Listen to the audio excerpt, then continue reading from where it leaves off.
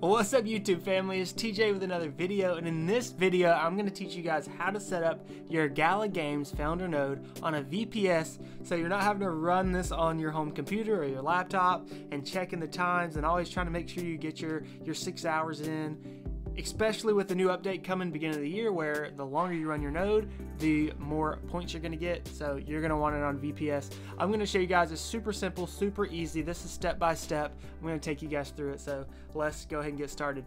All right first off we love sharing tips and tricks on how to help the average person get ahead. So if you're not subscribed to our channel already make sure you subscribe down below. What are you waiting on all right, let's go. So, if you don't have an account with Vultr already, go ahead and click that link in the description. And I think me and you both get $10 if you use our link.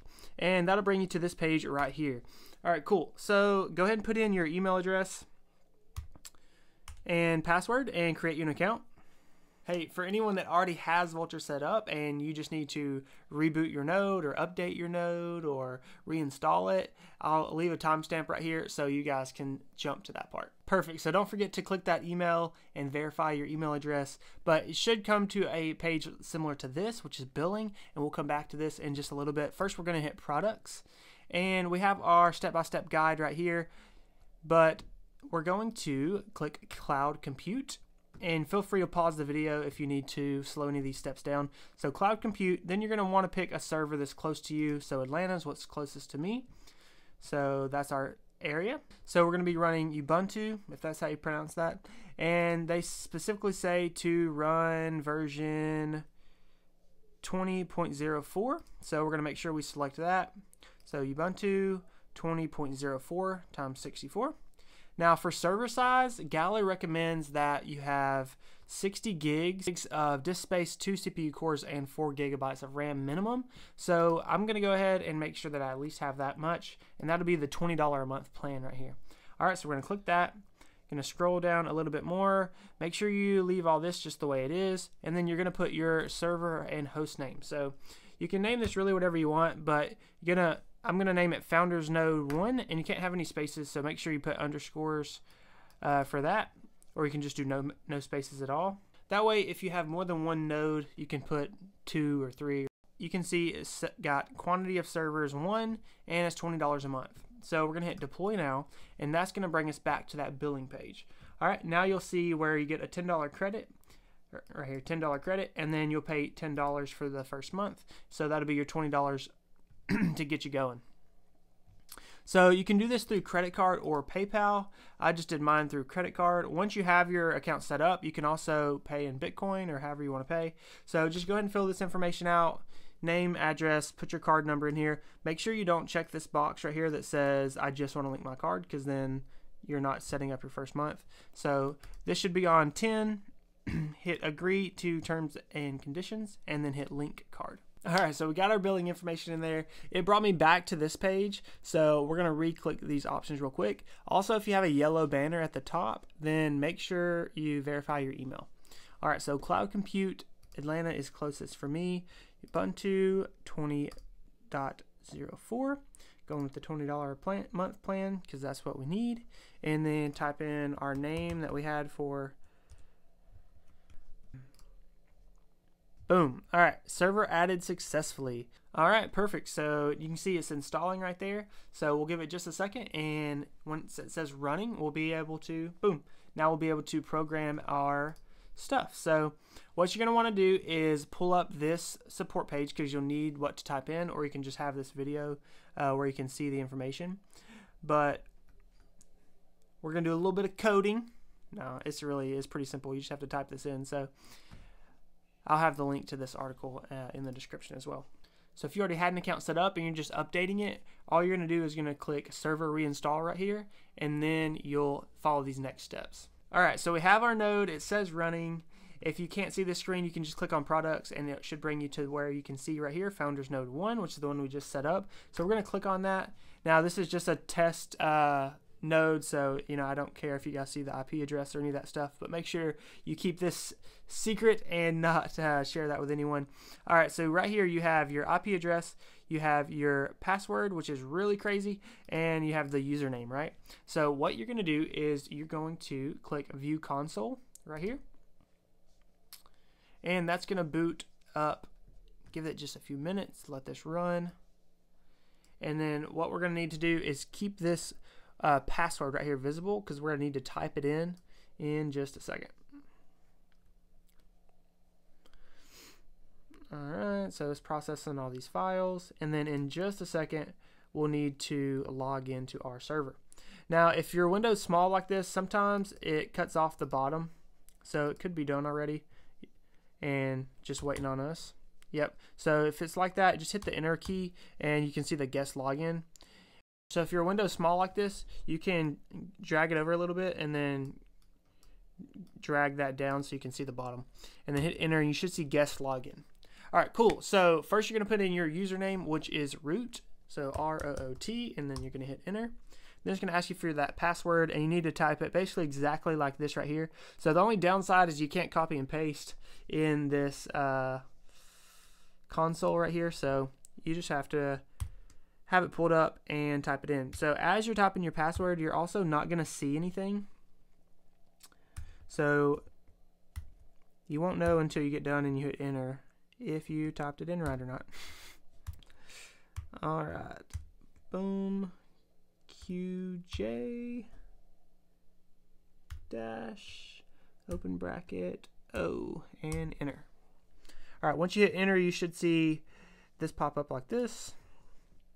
And now now it says root at guest and we can start giving it some commands.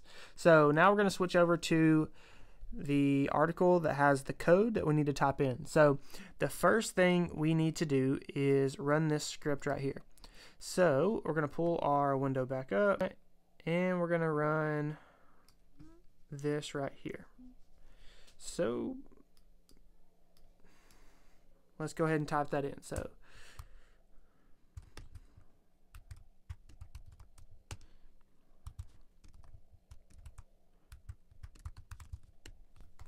All right, then we're gonna hit enter. And then this is gonna run. It's gonna go grab those files and download them to that server. And now we're ready for our next step. So next, we're gonna type this right here in. But instead of typing all this in together, I'm gonna stop at this semicolon right here. I'm not gonna type that. So I'm gonna type just this first part right here. I'm gonna hit enter, let that load, and then we'll type this second part right here. All right. It's a capital O right there not a zero.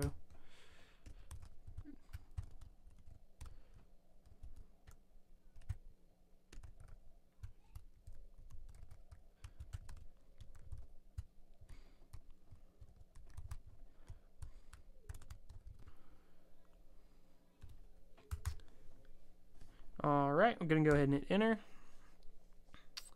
All right, now we're going to do that last part. sudo bash install dash headless dot sh enter. And now we're going to make this full size screen. So now you can see you're installing Linux headless version of the Gala node. So once you get to this screen you can use your arrow keys to go back and forth. So we're going to put that on yes and then hit the enter or return button. And you can see that started loading and installing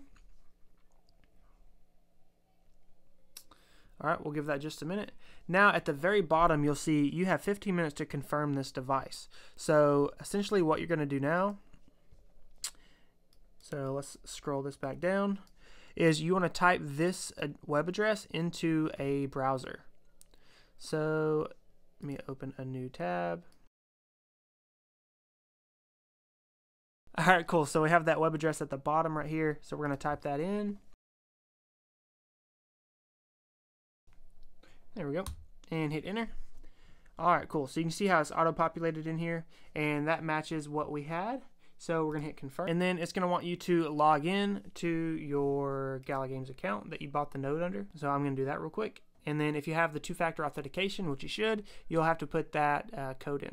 We got that two-factor authentication in. Says congratulations, you're all set.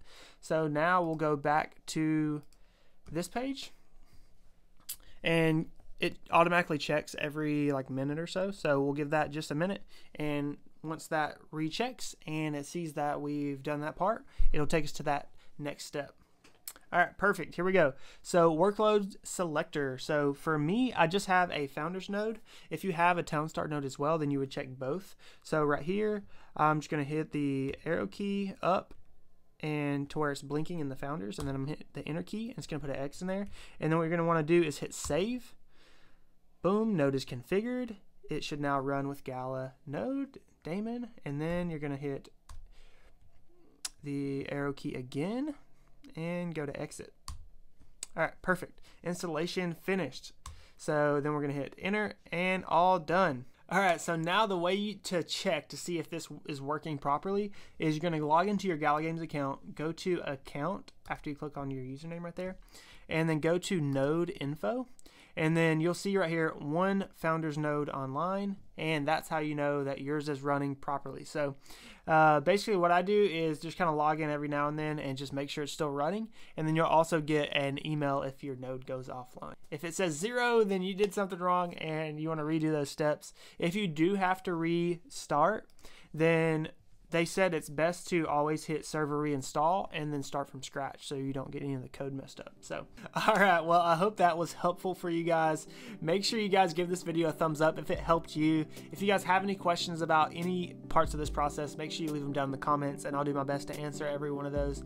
And make sure you follow me on Twitter. You can also DM me there. So, I hope this video helped. Make sure you guys give us a big thumbs up if it did. I appreciate you guys sticking in there with us. Thank you so much. We love you guys. Catch you guys in the next video.